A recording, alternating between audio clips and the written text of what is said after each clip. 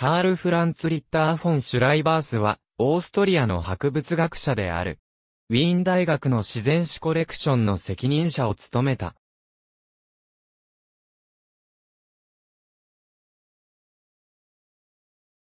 プレスブルクで育った。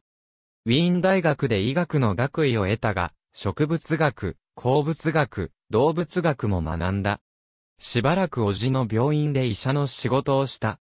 ヨーロッパの博物館を視察し、1802年にウィーン大学の自然史、農学の助手となり、1806年にウィーン自然史コレクションの責任者となった。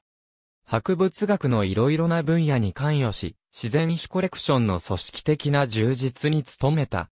シュライバースによって何冊かの自然科学の書籍しかなかったライブラリーは3万冊の書籍を集めた。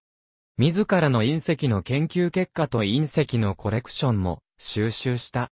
1848年10月31日、オーストリア革命時に帝国軍の砲撃によって博物館は炎上し、コレクションが失われたことに失望し、シュライバーは引退した。隕石のコレクションは破壊を逃れた。ビルヘルム・カール・リッター・フォン・ハイジンガー 3P が1847年にシュライバーの名前からシュライバーサイトと名付けられた。